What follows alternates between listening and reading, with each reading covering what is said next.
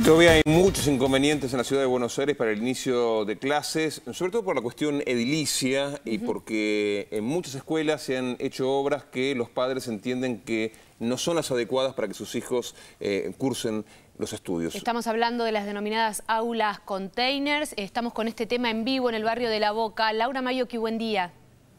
Buen día, Patri, buen día, Alejandro. Es lo que está ocurriendo en este jardín de infantes número 7 del barrio porteño de La Boca. Vamos a ver cómo se está llevando a cabo, les voy a mostrar este bloqueo simbólico de estos padres, de estas familias que están aquí en esta puerta desde las 7 de la mañana, muy tempranito. ¿eh? Vamos a hablar con los padres. Bueno, ¿cómo es tu nombre? Débora Barceló. ¿Por qué están aquí, Débora? Estamos bloqueando el ingreso a la continuidad de la instalación de aulas container. ¿Se encontraron con esta sorpresa porque es nuevo? Nosotros llegamos de las vacaciones, nos encontramos con que en nuestro jardín estaban instalando aulas container para hacinar a nuestros nenes de manera totalmente precaria. Nosotros insistimos con que es necesaria la matrícula y peleamos para que todos los nenes estén adentro de la escuela pública en la ciudad de Buenos Aires.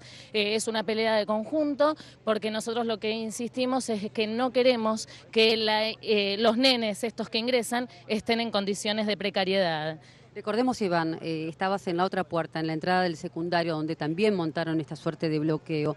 ¿Hasta cuándo ustedes eh, tienen pensado mantener este sistema eh, de reclamo, de lucha, como lo han definido ustedes?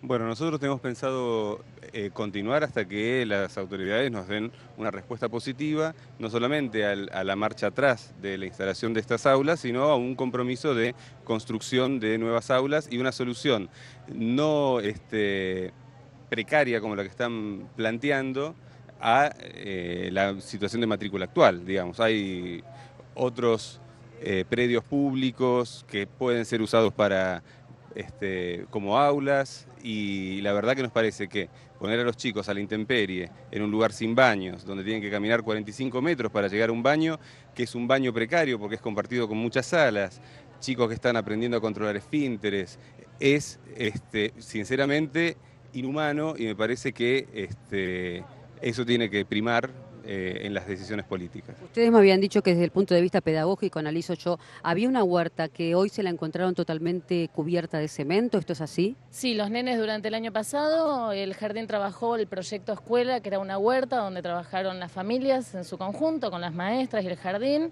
Eh, hoy llegamos y sobre esa huerta se está construyendo la carpeta para depositar arriba de la carpeta estos containers que aparte limitan el corredero de aire que necesita el jardín para estar más mayormente ventilado. ¿Cuántos containers serían? Serían tres containers, que equivalen a un 50% de la capacidad eh, del jardín que tiene seis salas.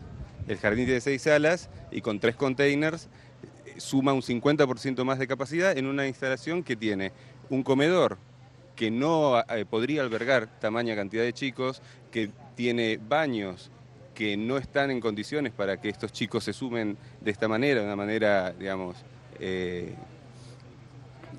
y por último, Iván, por último, si ustedes el 5 de marzo ven que estos containers continúan, que esta obra continúa, ¿qué es lo que van a hacer?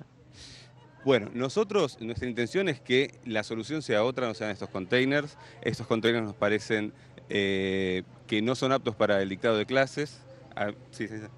Nosotros vamos a continuar con las medidas, no somos nada más los papás los que estamos peleando, vamos a sumar al conjunto de los docentes, a las conducciones de las escuelas y los jardines para acompañarnos en esta lucha. Exigimos que todos los nenes tengan la vacante en las escuelas de la ciudad y condiciones dignas de educación. Y si el 5 no está garantizado, vamos a continuar luchando y cada vez vamos a hacer más.